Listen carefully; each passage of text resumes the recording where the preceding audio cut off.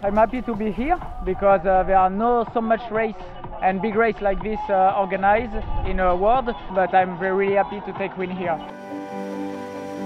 Wandering re-establishes the original harmony which once existed between man and the universe. But not all those who wander are lost.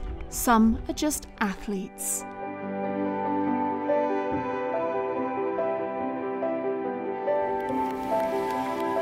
Triathlon is a jewel. A jewel with sea, with paths, with one's own fear, with fatigue, a jewel in which the body and the mind are strengthened.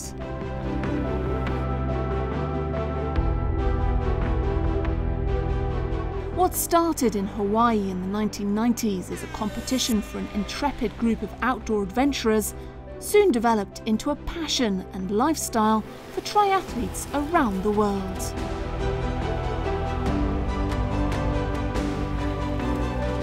Xterra Malta takes place every year under some of the most spectacular settings on Earth.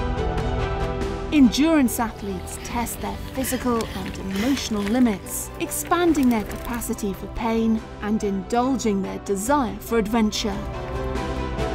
Connecting with nature while striving to go further and faster.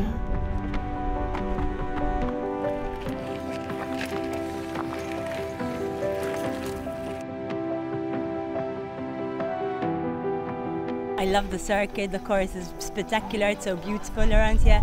The sea is really nice and clean, the nature and the trails and the, with the castle and all, it's pretty, pretty scenic, it's amazing. Xterra Malta gives the athletes a chance to discover some of Europe's most majestic landscapes. This hidden Maltese paradise unfolds with every step taken with an experience filled with emotions. Rookies' anticipation join the pantheon of Xterra legends. The elite athletes chase that ultimate performance, but all of them defy their physical limits and take themselves to new heights.